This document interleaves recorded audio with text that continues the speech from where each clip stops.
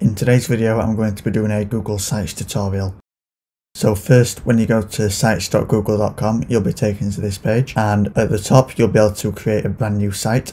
You can also click on the template gallery button at the top and it will open up a list of different templates that you can choose from or you can just create a blank one and below all of this you'll see all of your Google sites that you've already created. So for demonstration purposes I'm going to create a brand new site and once you've created your site you'll see a page that looks like this. So at the top you've got a header which will appear on all of your pages and you can change what this says per page. So if I click in this area, you'll see a blue box around the edge of it to indicate that this is an entire section. And if you put your cursor over the text, you'll see another blue box to indicate that this is a text box inside of that section. So I can select this text here and then I can change it and you'll see that now I've changed the header for this page to say test page.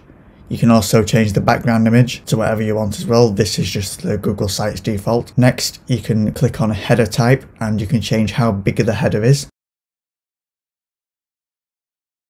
Title only will remove the background. And if you look on the right hand side, you'll see all of your controls where you can add different elements to your site. So if I click on the text box option, it'll add a text box to this page. I can then type anything in there and you can also choose different font styles. So for example if I wanted this to be a subheading it'll change the font styles for me. I can also click where it says Lato which is the default font and I can choose a different font from this list.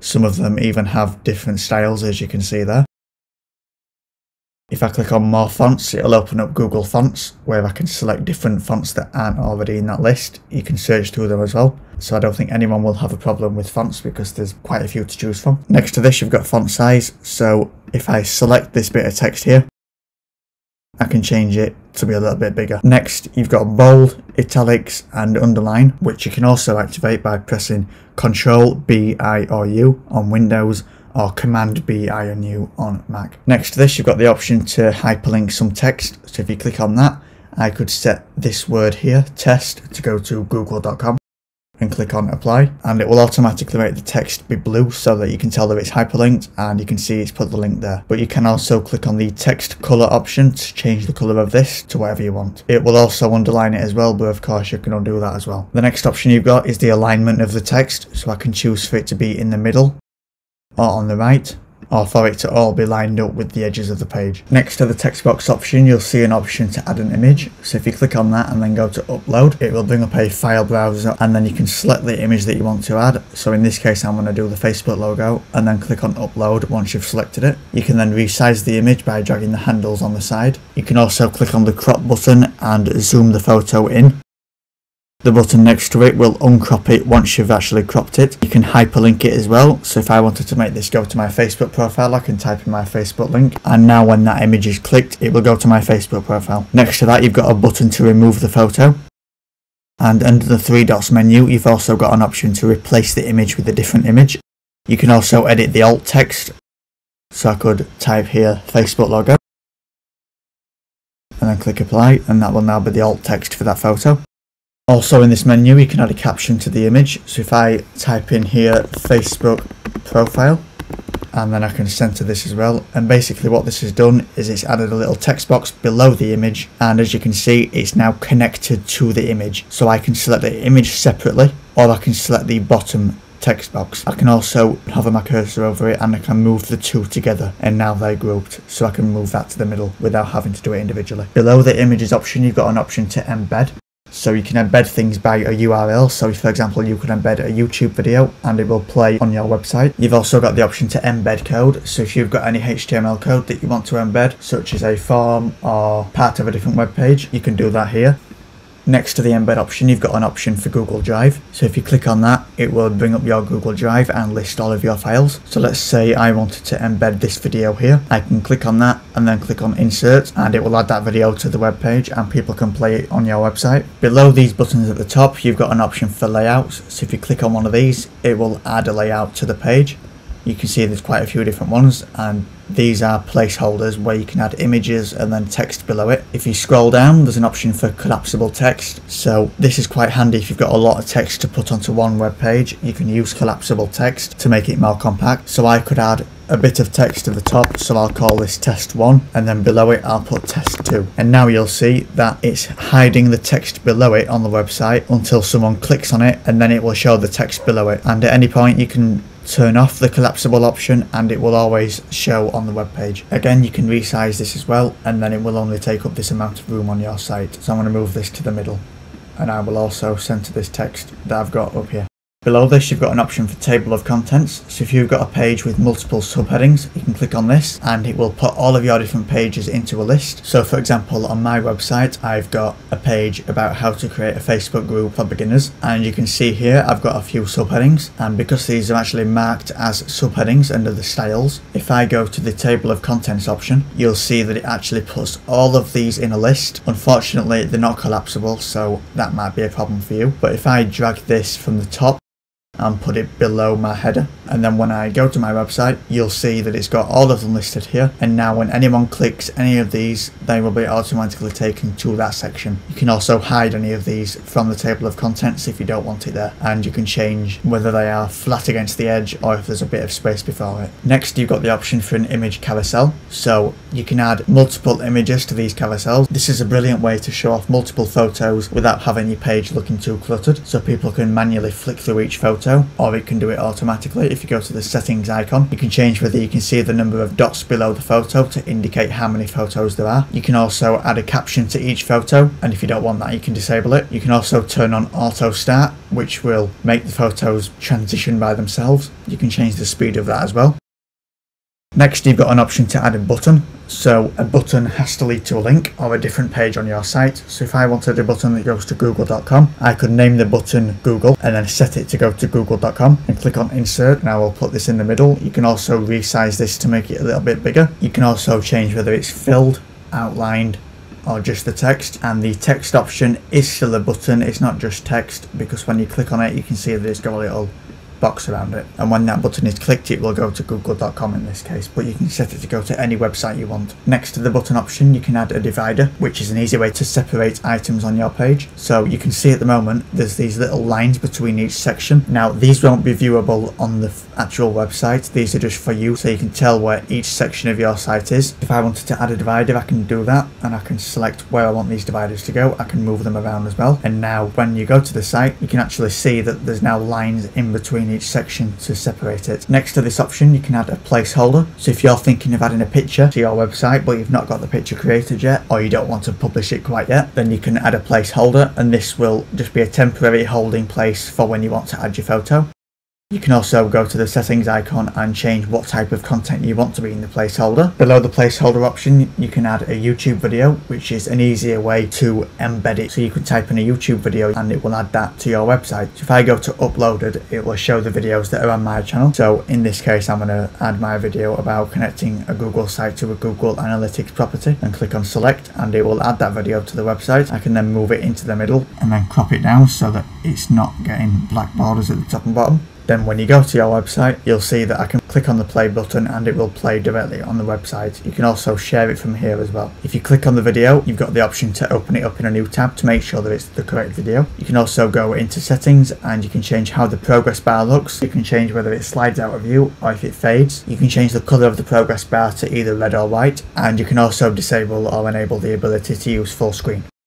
You can also add a Google Calendar. If I wanted to add my own calendar, I can insert that. And you can see this isn't a very good example because I've not got much on it, but it will show events that are on that calendar. You can also add a map to a certain place. So I'm currently in the UK, so if I just type in UK and click on that, I can then either add a map or a satellite view. So in this case I'm going to add the satellite view and click on select and you can see that now I've got a map on the website and people can zoom in, they can look around it, can even expand it so that's good if you've got a business somewhere that you want to show your customers where you're located. If you use Google Docs, Slides or Sheets, then you can embed either one of those onto your website. So I don't use these very much, but if I wanted to add this document here, I can click on that and it will add that to the site and people can read it and look at it directly on the website. You can also create a form using Google Forms. So if you wanted to add a contact form or a feedback form, then you can definitely do that. So if I wanted to embed a form where people can give feedback about the website, right, I can select it and then insert it, and you'll see that now people can type inside of these boxes and provide feedback. And the last option is to add a chart. So if you've got any charts, then you can embed those onto your site as well. If you hover your cursor over any section, you've also got the option to drag that entire section around. You can also go to the section background and change it. So standard will just be white and then these two will be dependent of the theme that you've chosen. You can also upload an image to be the background of that section. You can duplicate a section to create a copy of it and put it directly below it and you can also delete the section. The next tab at the top is pages where you can create different pages for your site. You can double click the text and change the name of that page. This is what will appear in the tab at the top. When you click on the three dots you can duplicate the page to create a copy of it and then you can give it a name and a custom path if you want. Otherwise it will just be the default path which is usually the name of the page all lowercase with dashes in between. If I click on done it will create another copy of that page and keep everything as it was. You can also click on the three dots to delete a page. In this menu there's an option to set a page that isn't currently a home page to be your home page. You can go to properties and this is the same menu that I just showed you where you can change the name and the path. You can also add a sub page so I'm going to call this one test. So the way this works is when you're visiting this page, the path will be added on to the original one. So you can have multiple slashes inside of one URL. You can also hide a page from navigation. So if you only want it to be available via the URL or through search, then you can do that as well. And speaking of search, if you've got more than one page visible on the site, you will also have a search icon at the top right, which doesn't show up in the editor. And people can search through pages on your website. If you go to the bottom, you can create a new page. You can also create a new link. So if I wanted to create a link to go to YouTube, I can call it YouTube and make it go to youtube.com and I can choose whether I want it to open in a new tab or not and then click on done. And now I've got a link in the navigation bar to go to youtube.com and the last tab you've got themes which are supposed to be getting a massive overhaul soon where you'll be able to customize the style of every part of your website. But for now this is what we've got. So I prefer the simple theme and you can change the color of it and it will change the theme of different sections of your site. You can also choose a custom color and you can also change the default font style. There's many different ones that you can choose from with different styles. So that's everything covered in the right panel of Google Sites. Now we're going to look at the top. So here you've got the name of your website. Now only you will be able to see this name. This is just so you know what it's called when you're looking through it. Below this you've got an option to add a site name which is what will appear in the tab at the top of the screen. So I'm just going to call both of these test for now. There we go and below this you've got an option to add a logo which will appear just to the left of the name of your site. A PNG will look best for this. Next to this you've got an option to edit the navigation bar settings which is also in the settings for the entire site which I'm going to get to in a moment. Up here it says that all of your changes are saved in Google Drive so you can make as many changes as you like and you can always roll back to any version of the website and this doesn't count towards your Google Drive quota so you can store quite a few photos on your site and it won't take up any space on your Google Drive. There's two ways to view the version history of your site. You can either click here where it says all changes saved in Drive, or you can click on the three dots and go to version history. So there won't be much to see at the moment, but at any point I can restore to any version of my site and then click on restore and it will bring that version back. So you can see this is what we started with and this is where we are now. You can click on the three dots and give it a name or make a copy. You've also got the option to undo the last action and redo the last action, which is the same as Control and Z or Control and Y or Command if you're on a Mac. Next to this, you've got the option to preview your website without having to publish it. So if you're wanting to see what it looks like,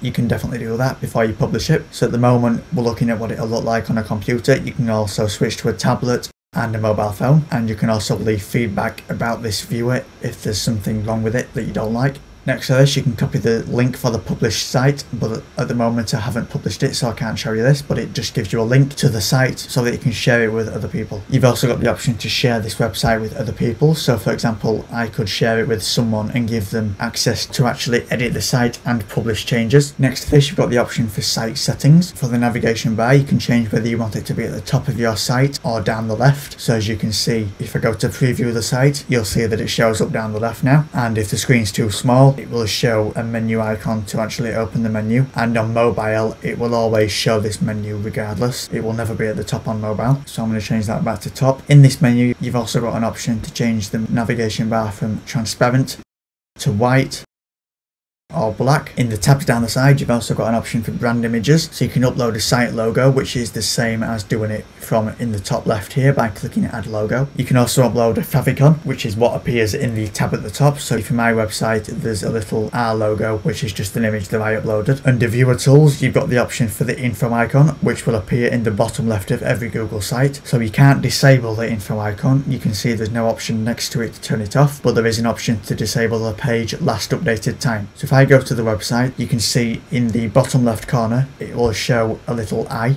and it shows me when the page was last updated. You can disable this section here, but viewers will always have the option to either go to the Google Sites editor to create a site themselves, or to report your website if you're abusing the Google site terms. The next option is for anchor links, which are fairly useful. So if you've got this option enabled, people will be able to put their cursor over a heading or subheading, and the button will appear next to it, which lets them copy the link to this section. So when that link is visited, it will automatically scroll down to that part of the site, but I can't show you that because not published this website yet as it is just for demonstration purposes. Under the custom domain section this is where you can link your website to a custom domain. So this involves you to change the DNS records. Next you've got site analytics which will allow you to go to analytics.google.com and view all the insights for your website. Next you've got the option for announcement banner so I can turn on the banner and then change the colour. So in this case I'm going to set it as this red colour. You can then add a message to the banner and then a link if you want to so you can choose what the button for the link will say on what the link will actually be and whether you want it to open in a new tab. You can then change the visibility of it. So if I set it to be on all pages and then close this, you'll see that it puts it at the top of that page. So everyone will see it first thing when they visit the site. And when you go to publish the website, you can choose a web address, which will automatically be sites.google.com slash view slash and then whatever you put here. But like I said, you, you can use a custom domain if you want to. Of course, you can modify the sharing settings here, which is the same as what we went to in this icon here, where we can change who has access to the site. You can also choose whether you want search engines such as Google or Bing to display your website and at this point you're ready to publish your website. So this has been a full tutorial of Google Sites. If you've got any questions please leave them in the comments. I also recommend that you check out Steegle.com. Their articles should be able to help you with any questions you've got. Also please check out the Google Sites group on Facebook. There will be a link in the description as well. And thank you very much for watching.